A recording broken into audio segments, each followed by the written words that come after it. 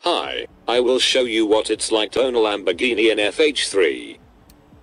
As you can see I have many Lambos because it's really easy to get money in this game.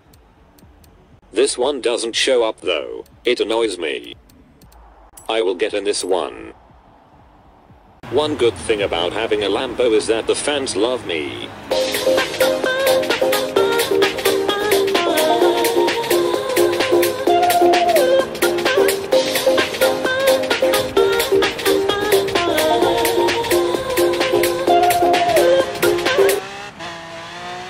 Anyway, another good thing is that if you crash, there isn't a single scratch on the car. See, it's great.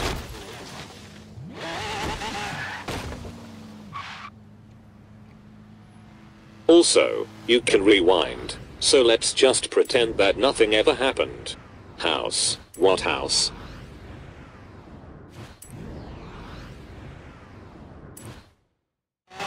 Obviously, the best reason is that they are fast and there are no cops in this game.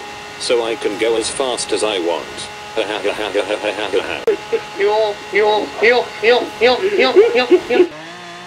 I have switched car. I can also go off-road in this Lambo without crashing or getting a scratch on it.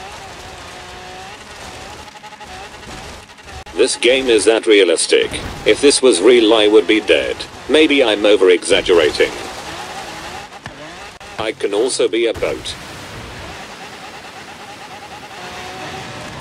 Yay, this is my favorite part of the map. You know why? Because I can play my banging tunes here.